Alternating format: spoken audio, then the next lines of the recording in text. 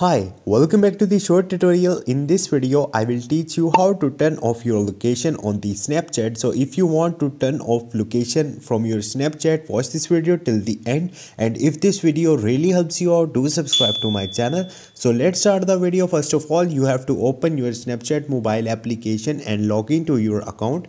Once you will do it on the left top, you will see profile icon. Just click on it.